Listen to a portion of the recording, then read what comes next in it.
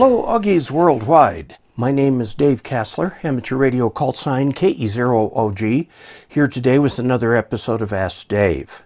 This is a quick little video. I want to show you a technique that uh, I learned a while ago for uh, handling unruly wires. I'm in the processing of setting up the uh, Xiegu G90 radio here, and the power cord leaves something to be desired. It is two long strands of wire. It's got a plug on this end, and I'm going to put a uh, Anderson power poles on this end. And the, the problem with it, as you can see, is it's just unruly.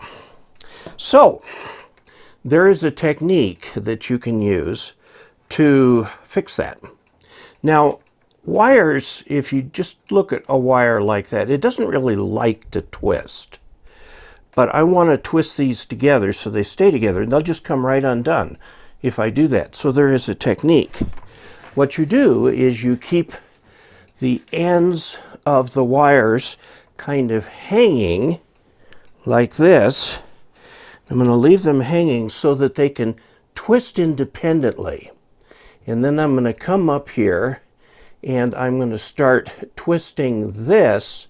Now, what's happening down below me, and I'm going to hold this black wire way out with my hand, see, so that it will twist separately as I am doing this. And you can watch it twist as you watch the uh, uh, fuse, the 10 amp fuse come up here and you just keep twisting like this, making sure that the uh, black and red wires stay out of each other's way like this. And the thing is, if you look at the, well, you can't see the wires because it doesn't quite come horizontal, but each wire is twisting separately. So, and if they get tangled up, pull them apart uh, so that they twist together. Because what's going to happen when you're done with this, and we'll get it all the way down to the end here, and make sure that they all twist separately. Ah, get a hold of that thing, okay. And we get down here to the end. And what do we have? I'm going to put an Anderson power pole. Now notice that. It just stays.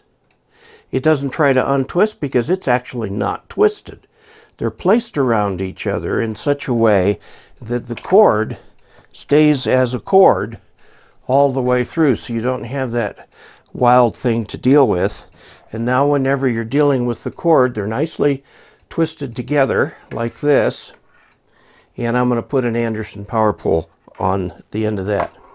So that is the tip to, for today, how to make uh, crazy power leads a little less unruly. If you just twist them like this together, they'll want to untwist. But by twisting each separately and then putting them on, just like I showed you, they stay together like this, and now I can put the plug on. So there's your tip for the day. Be sure to check out uh, the G90 radio on the MFJ website. Please check out dcasler.com slash support for ways that you can help fund this channel. And until we next meet, 73.